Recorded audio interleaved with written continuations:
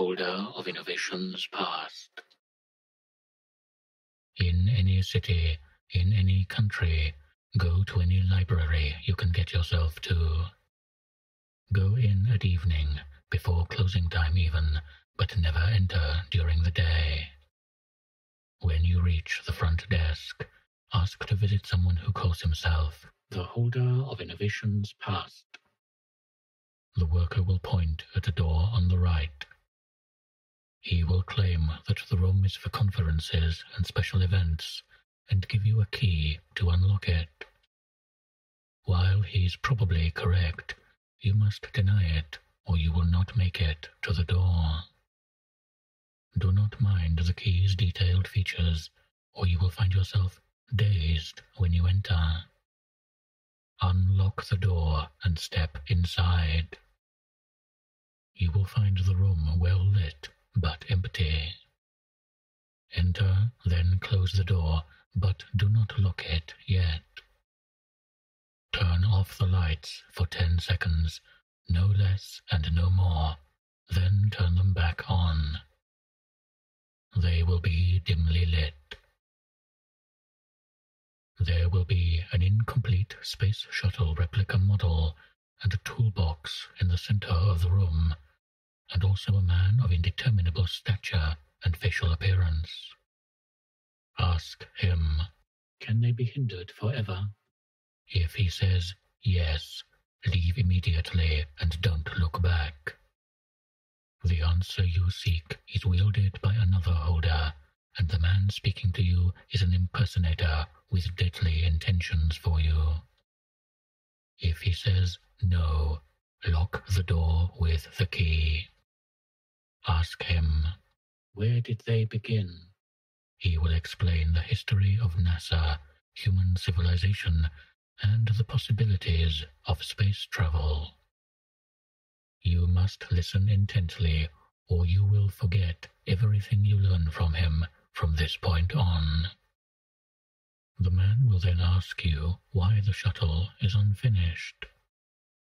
Tell him they must be kept from transcendence. He will confirm your statement and then offer the replica to you as a gift. Decline he will then reach into the toolbox and take out a flashlight. It's heavier than it looks. And offer it to you. Accept it. As soon as you take it from him, the lights will go out. Then you will be beaten by an unseen force, continuously struck in your left eye. You will feel a burning sensation in your mouth and on your tongue like fire, and you will hear excruciating screams of dread and terror ringing in your ears. These will go on for five minutes, but you must not react to these experiences or let go of the flashlight. You must maintain a steady breath, and if you cannot, you must hold it. If you resist the entity, you will be maimed and die from that, combined with your eye bleeding.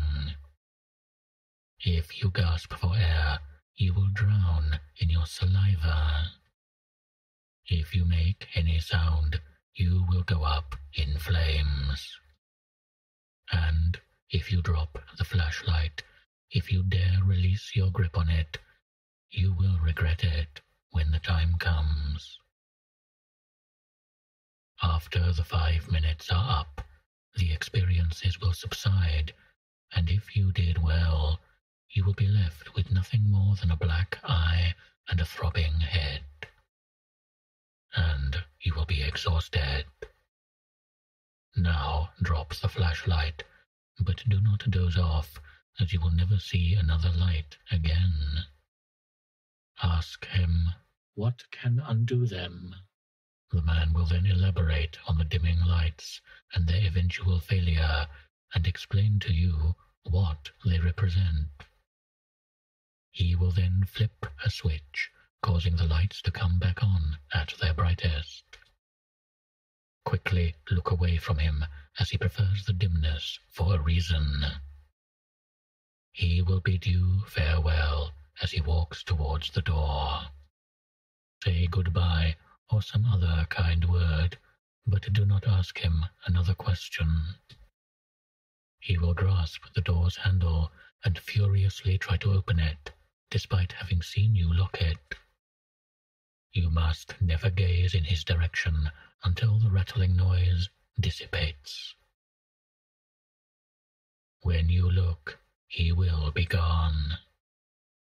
Open the door, and you will find the library's main lobby pitch black. Go back to where you left your flashlight. You cannot go into the darkness, or you will disappear before dawn, never to be heard from again. If the flashlight is still there, venture out of the well-lit room, turn your flashlight on, and explore. Otherwise, accept your fate as the new holder. You must look for and find an eerie white glow emanating somewhere in the library before your flashlight battery runs out. Do not attempt to locate the entrance, as it will be locked and in fact night, and you will be wasting battery power. Nor should you look for anything else in the darkness. Anything you imagine existing in the dark will be manifested physically and destroy you if you do not maintain your focus. If your battery runs out, quickly run back into the room and lock the door with the key you received. It may take another century before you can safely leave the room, as this darkness is perpetual. When you have found the glow, it will start dimming before fading away.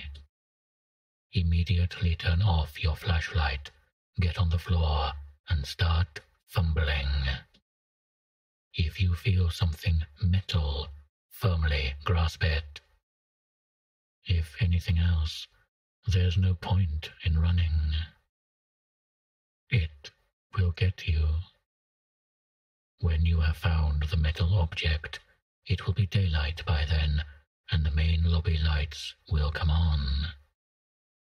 Pick it up and run past the worker out of the library.